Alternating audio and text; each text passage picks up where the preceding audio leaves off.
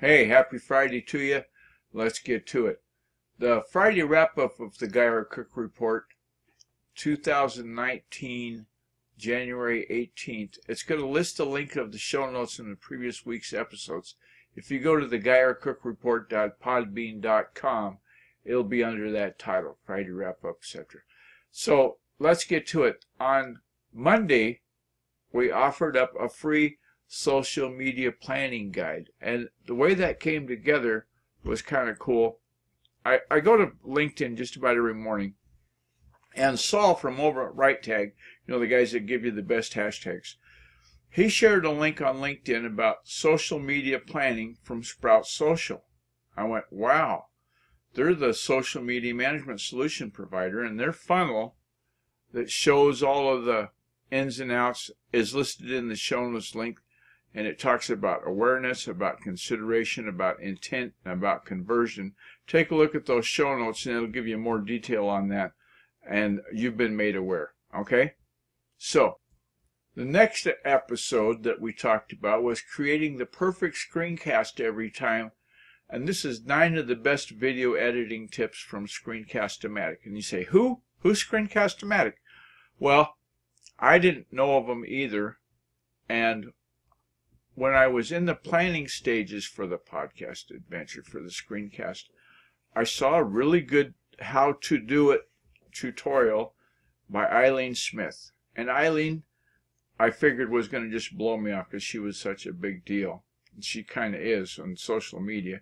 And so I asked her, I said, how, how did you uh, create that uh, video? And I was expecting her to say, well, I used in Camcast, or Camtasia, I mean to say. And it wasn't. It was Screencast-O-Matic. The license for Screencast-O-Matic is $18 a year.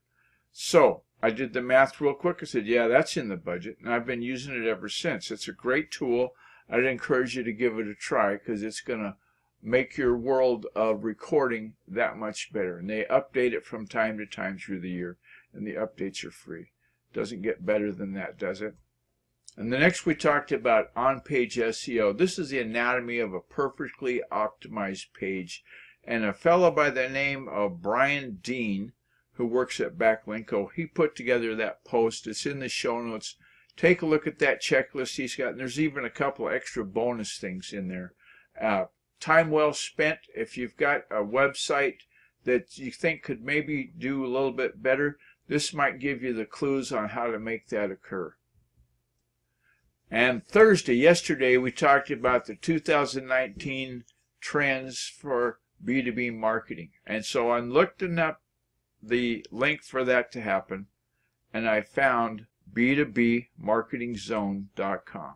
Now, if for nothing else, then it's got a great name, but it's also got a great stack of content. I hope that you haven't uh, those bits of information are going to be helpful in, in guiding you in your 2019 marketing or maybe polishing up the 2019 plan that you've already got in place because there are some great tools and, and resources available in the B2B marketing zone.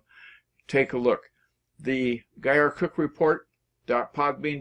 that's the link to get to the show notes you want to get the friday wrap up and so i want to say thanks to the patrons that support our effort thanks to Coding Brains, to Google, and all of the social channels that this content is linked to.